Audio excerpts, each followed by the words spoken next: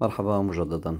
نحييكم بالجزء الثاني من رحلتنا بجران كاناريا وتحديدا آه، كنا ببيكو بانداما بالفيديو الأول شفتوا التلة المرتفعة اللي وقفنا فيها بطريقنا اللي عم نكمل فيها آه، زي ما ذكرنا لنقطة تانية عالية ولرحلة آه، منظمة من إحدى الشركات القائمة بجران كاناريا استكمالا للمعلومات اللي ذكرناها بداية وهون سألنا الدليل السياحي عن سبب تسمية الجزر بالكناري. الدليل ال guide أعطانا عدة أسباب عدة إجابات. آه، أحدها وأشهرها أنه سكان الجزيرة كانوا بيأكلوا الكلاب فسموهم آه، يعني بما بالإنجليزي dog eaters أو باللاتينية كاناريز فهذا أحد الأسباب اللي آه، اللي اشتقت منه اسم الكناريز. وكانوا السكان عادة قبائل موزعين بين جران كاناريا وتنريفة. زي ما ذكرنا من 2000 سنة آه، آه، مأهولة بالسكان الجزر. وأهل السكان الأصليين هن مزيج من سكان شمال أفريقيا ومن البربر. آه، بتعرفوا يعني زي ما ذكرنا قبل في شيء جاي من صوب المغرب صوب موريتانيا. بهالجزيرة عاشوا كانت تسمى كناريا مثل ما قلنا. وسبب تسمية جران كناريا بتعود إنه السكان الأصليين كانوا ضخمين جثثهم ضخمة ومن الصعب هزيمتهم. فالغزاة اللي غزوا الجزر بداية الغزاة اللي إجوا من البرتغال من إيطاليا وتحديدا من منطقة جنوة بإيطاليا آه، والإسبان آه، كلهم يعني حاولوا آه، عدة مرات يعني يعملوا الأتاك على الجزيرة وكانوا يفشلوا والسبب كان زي ما قلنا ضخامة أجسام أهل الجزيرة السكان الأصليين بشكل عام كانوا يطلقوا عليهم great warriors great warriors المحاربين العظماء. من هنا كذلك اشتقت اشتقت الكلمة يعني great تحولت لجران وأخذت اسم جران جران كناريا كتير قصص بتنذكر يعني. طبعا سألناه أكثر من هيك فقال هي القصص المعروفة مبدئيا. ولو بدنا نفوت بالقصص الثانية المذكورة بالتاريخ رح تضيعكم ويمكن يعني تختلف المعلومات تتضارب فهي هدول أشهر يعني الأسباب لتسمية زي ما قلنا الجزيرة بجران كناريا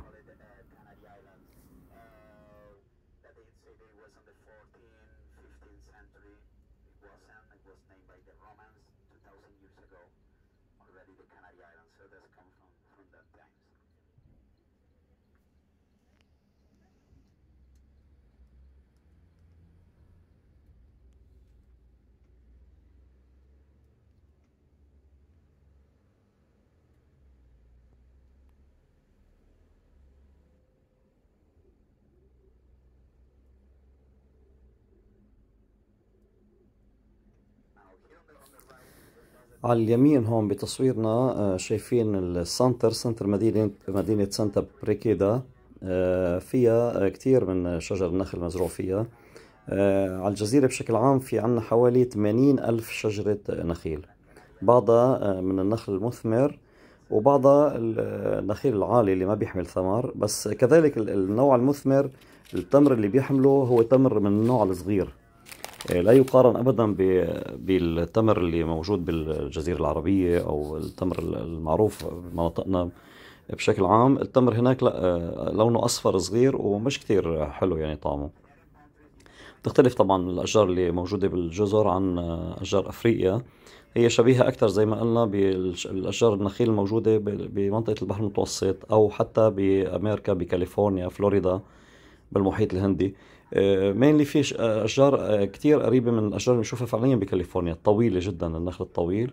والنخل اللي شايفينه هذا القصير العادي اللي هو بيحمل زي ما قلنا الثمر آه، الأصفر الصغير.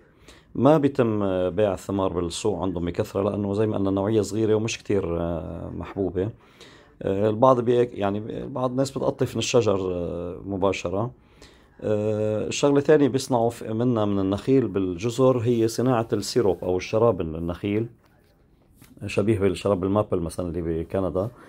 آه، بيتم غلي المواد المستخرجة من الشجر وهو الأرجح اللي فهمناه من الشرح أنه هو بيستخرجوا مثل مادة ال palmito اللي هي بتستخرج من ضلع الأشجار النخيل.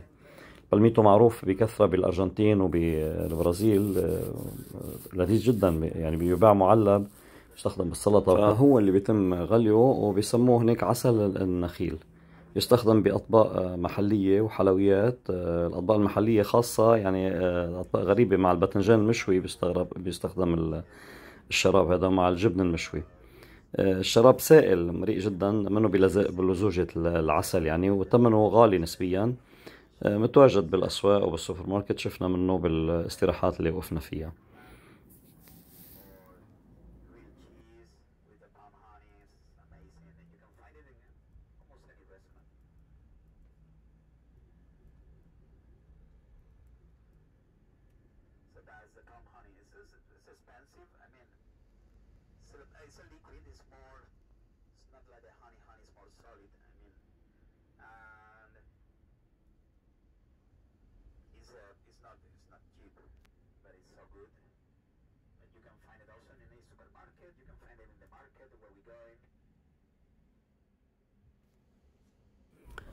محطتنا التالية اللي وصلنا لها ونحن بالرحلة بمحيط روك نوبلو. موجودين حاليا ببارك رورال ديل نوبلو. وتحديدا عند ال mirador أو المطل ال mirador يعني المطل بالإسباني ميرادور ديل بيكو دي لوس بوزوس دي لاس نيفز.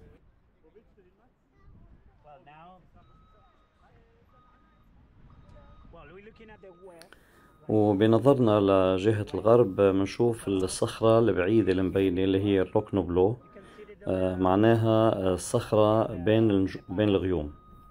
عادة الغيوم آه، بتجي من جهة الشمال باتجاه الجنوب لذلك نرى شمال الجزيرة خضراء لأن الرطوبة فيها آه، نسبيا ثابتة معدل الرطوبة ثابت خلال السنة. وعادة الجنوب منطقة مناخها يعني جاف نسبيا بخلاف الشمال.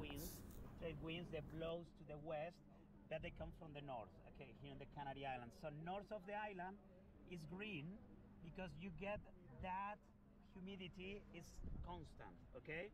Also, you get some places in Gran Canaria, you get the rain level of Bergen. Some places in Gran Canaria, you get the rain level of uh, Sahara, okay? Mm-hmm. So it's a big difference, yeah? Bergen is the, the city, rainy city in Europe, okay? So um, uh, for the British, Manchester is dry compared to, uh, to, to Bergen.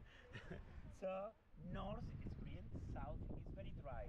But a couple of weeks ago, we have a, a big storm and we have a lot of uh, a lot of rain for a couple of days. So mm, south you have some grass, but usually this is very dry. South, north is on our back, and then Roque Nublo because the rocks, sorry, the clouds, they comes this low cloud, they get here, and then you get there. The, just there, there's a, a 25 kilometers crater, just there, and من هالمنطقة اللي شايفينها من الشمال عادة آه، بتجي الغيوم آه، بتجي على شكل كأنها شلال متحرك آه، من الغيوم. لذلك اسمها زي ما قلنا روك نوبلو أو الصخرة بين الغيوم. رح نشوف كذلك بالباك تاع الصورة يعني مبين من بعيد اللي هو Mount تيدي. Mount تيدي اللي هو ثالث أعلى قمة بركانية بالعالم. و Mount تيدي فعليا على جزيرة تنريفة مش على الجزيرة هذه جران كناريا. بس لما يكون الجو صافي وما في زي غيوم أو اللي هي الشبورة أو الخطيطة آه، بيبين الجبل Mount تيدي. ما بعرف إذا مبين عليكم مزبوط هو ظاهر بآخر بالباك آخر شيء بالتصوير بالصورة. فإذا هو قلنا مونتيدي على تنريفة بيبلغ علو الجبل 3718 آه، متر فوق سطح البحر. بينما بقياس من قاع المحيط بيبلغ 7500 متر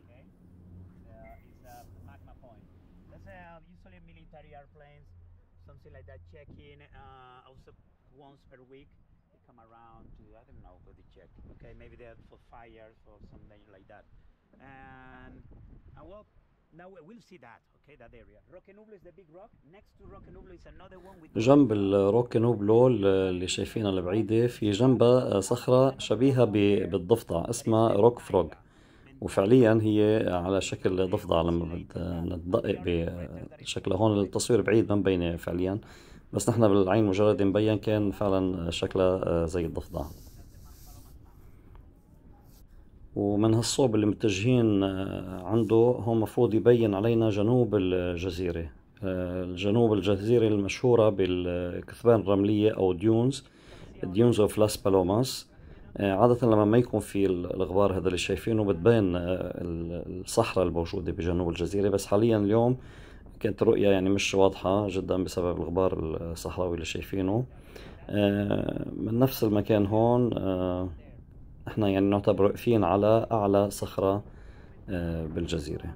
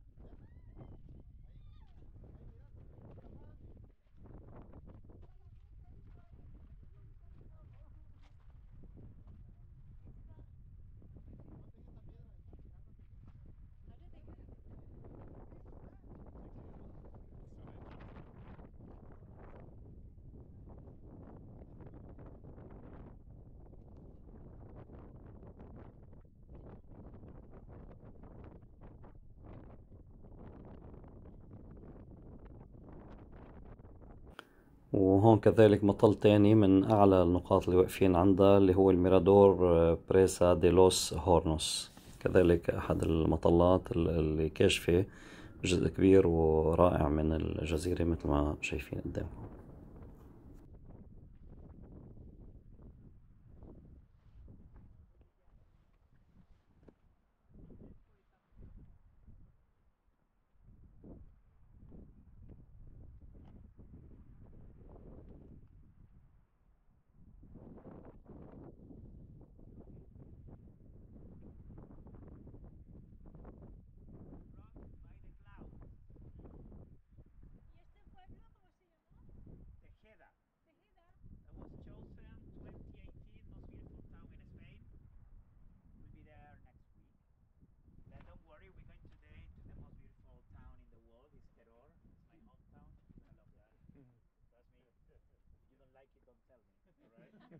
don't, don't, don't share that information with me. Mm-hmm. It's not, it, it's not gonna be good for you, not for me.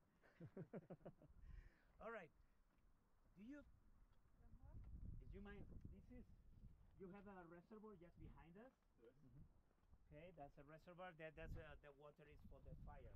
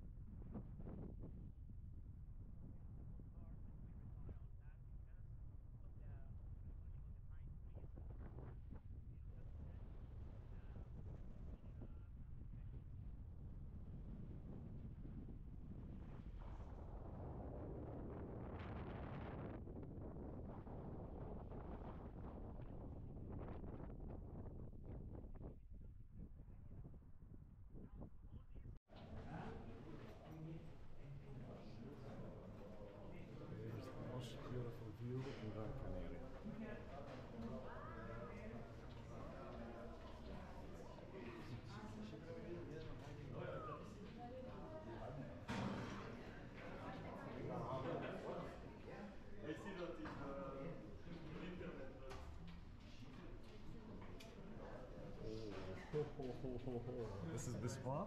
nice. The best spa ever in life, baby.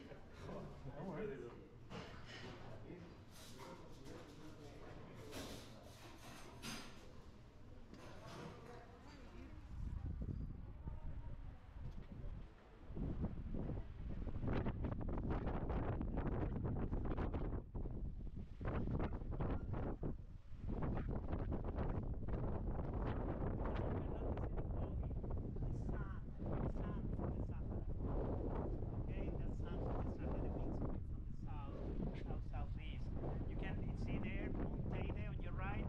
This is the big crater. You have Ventaiga. This is what it was. This is this sun god for the native. That big rock you have here.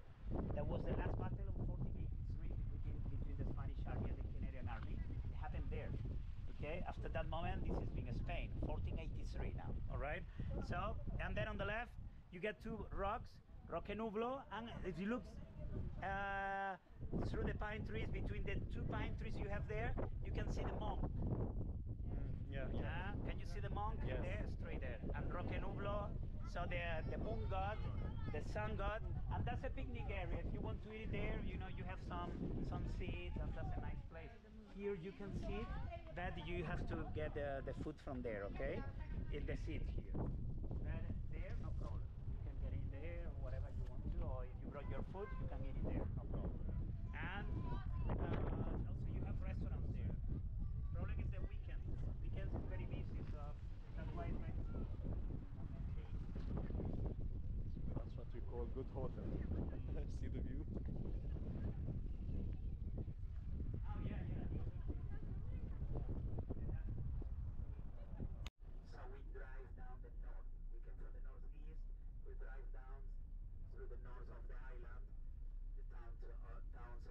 different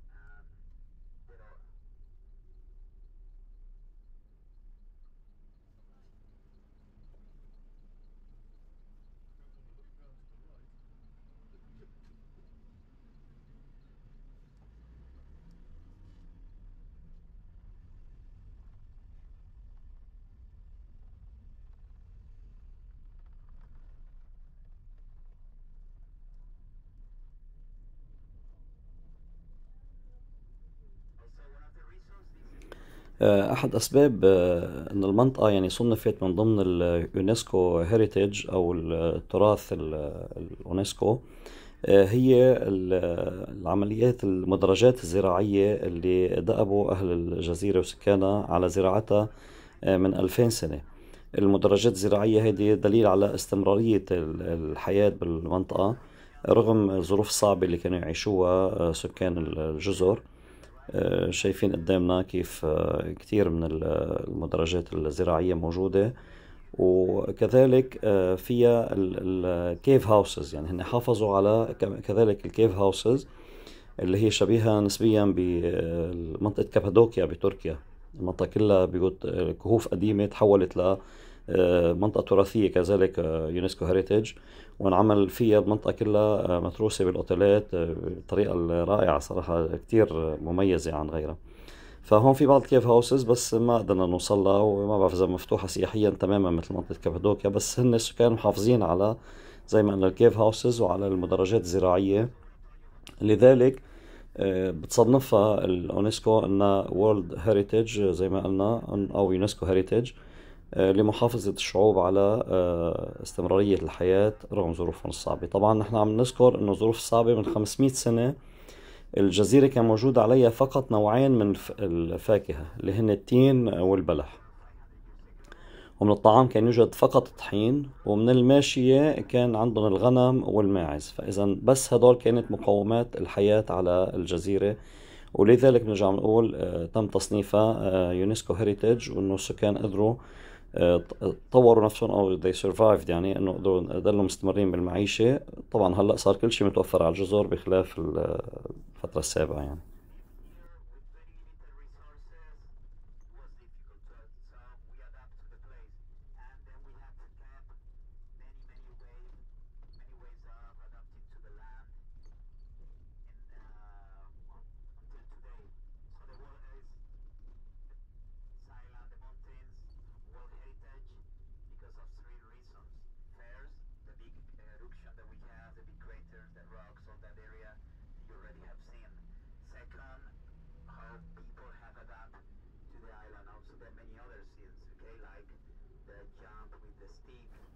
إحدى الوسائل الغريبة المشهورة فيها الجزيرة وكذلك من من ضمن أسباب أنها آه، تصنفت ك world يونسكو heritage سكان الجزيرة بيستخدموا العصي بتنقلهم بين المناطق.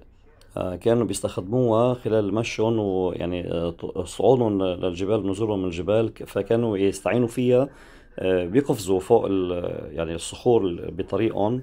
بواسطة العصي هيدي أحيانا كانوا يعني القفزة آه، يتخطوا فيها خمسة إلى ستة متر تقريبا. وهيدي تكنيك أو تقنية معروف فيها أهل المنطقة السكان الأصليين طبعا هنا. الشغلة الثانية كذلك أنه عندهم وسيلة التواصل بين المزارعين طبعا بالجبال.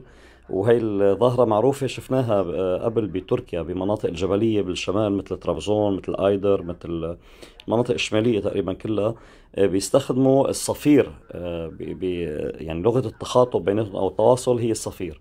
طبعا هي كأنها كود معين فيها كودات معينة بيفهموا رموزها كلهم أهل المنطقة سواء كانوا مزارعين أو سكان قدامى كلهم اللي عايشين فيها.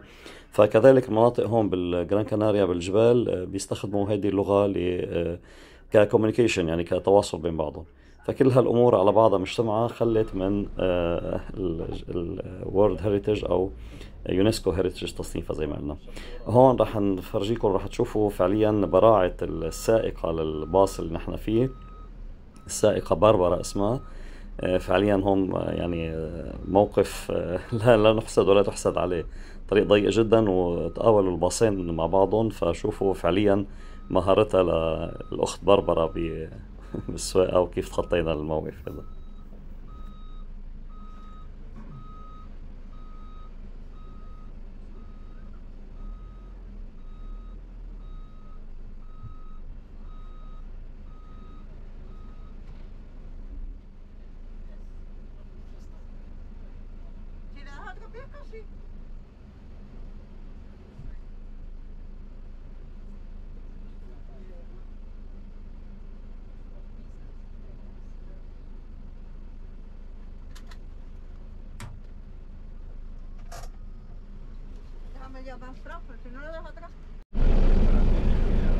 وهون فران الجايد عنا الجايد اللي ماشي معنا بالرحلة آه نزل يوجهها شوي. طبعا لضيق المكان تماما يعني ماشي بالدقة يدوب شعرة بينه وبين الباص اللي جنبنا وفعلا سائقة مبدعة يعني.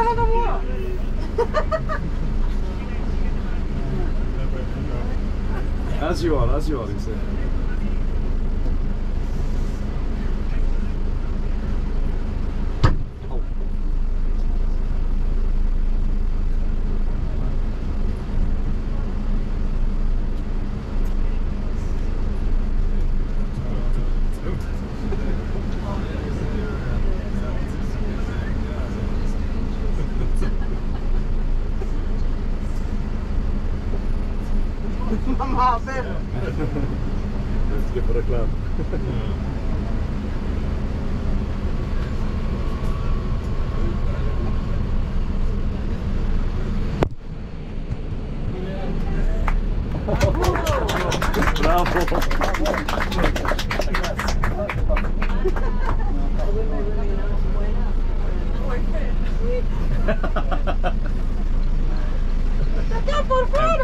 bravo for Fran too. Bravo.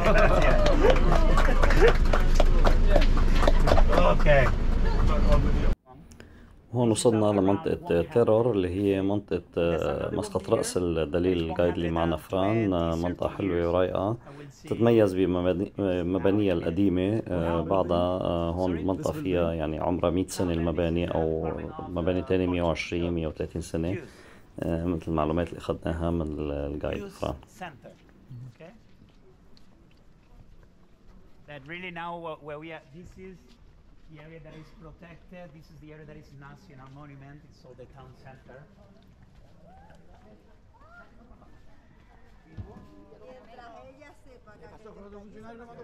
Encontró con resaca y va y firma.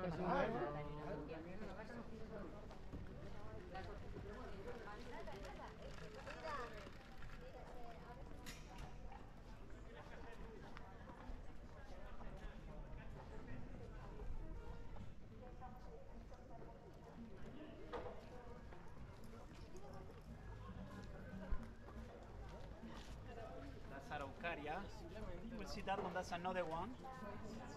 It has two trunks. Okay, then if you want to see it, 140 years, 20, 20 years, sorry. 20. Anyway, this one is 17th century. ¿Qué ¿Cómo estás? Hola, soy me en dólar. ¿Se escucha? Sí. Hola. Ya la quiero siempre, gracias.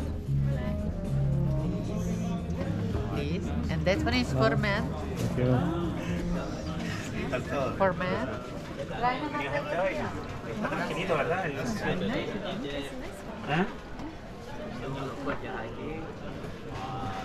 ¿Qué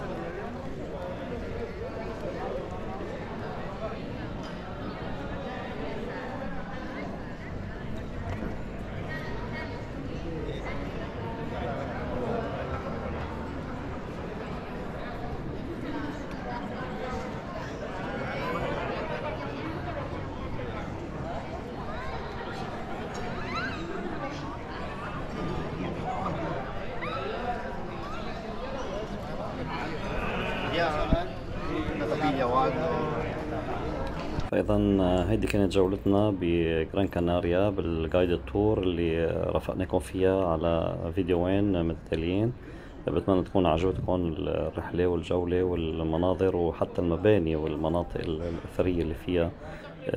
فعلا منطقة جميلة بتستاهل الزيارة. آه، استمروا معنا رح نكمل فيديوهاتنا سواء بجران كاناريا أو بتنريفة.